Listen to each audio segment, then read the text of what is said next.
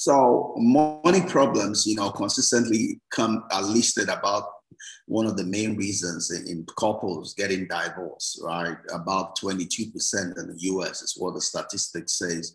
You know, most divorce are due to uh, 22% of divorce in the US are due to money issues, right?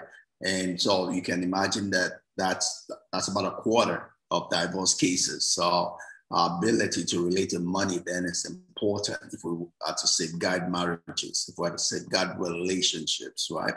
Uh, and common conflicts that arise that result in such issues uh, uh, the way people handle debt. Obviously, debt goes to credit card, all of that stuff, spending habits, you know, being open with, with, with the money that each one has or their healing, earning, earning ability and also the way money is used as a form of control, right? Uh, whether the money is used to um, to bring each other together, to or to push each other apart, or to become a lord over over over your partner, you know. So uh, all of those results is into 22% of divorce cases uh, by statistics in the U.S. Uh, it's obviously uh, at the root of this is, is like we said earlier on, is whether you're winning the battle within yourself or not, you know, which comes from all the influences we've been talking about so far, being your upbringing, your origin, your family, your community, your society, all of that determines the money imprint that you have or your money now, your money culture.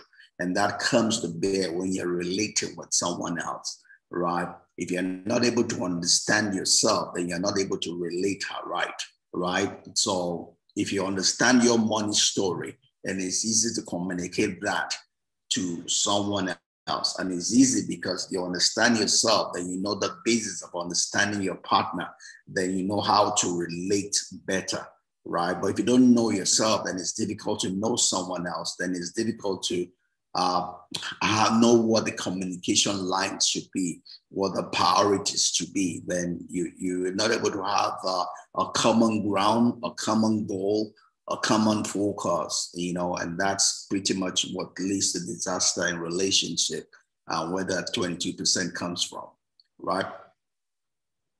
So uh, our money stories leads to uh, the way, what we expect from each other in, in uh, what, what we expect or not expect in a relationship, you know, and also those expectations, whether they're reasonable, not reasonable, acceptable, not acceptable, whether those uh, expectations are, are, are mutually beneficial or they're seemingly selfish or, you know, the, all of those uh, are determined, you know, by our own money imprint, right?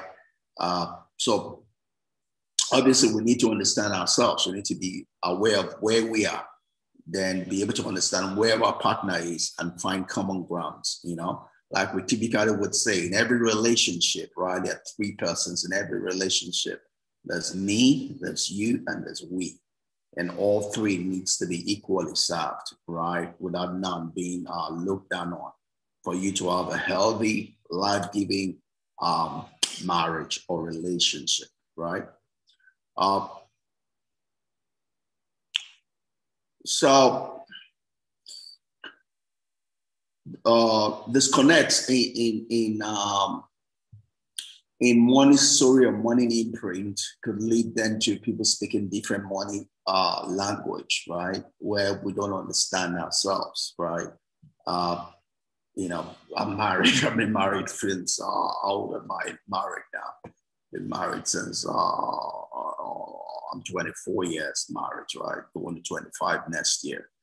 Um, so I've had that with my with my wife. We come from two different money stories, right? Um, I'm a first boy. She's a last born you know. So the way we relate to money, it's not exactly the same, right? So, uh, but we're working towards that. We're working towards that common ground, you know, and that that that's that's helped us in our journey, right?